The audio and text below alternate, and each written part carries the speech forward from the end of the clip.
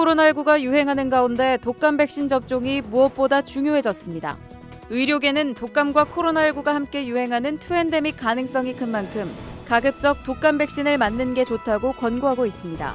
정부는 현재 생후 6개월에서 만 18세까지의 소아청소년과 임신부, 만 62세 이상 어르신 등에게 4가 독감 백신을 무료로 접종하고 있습니다.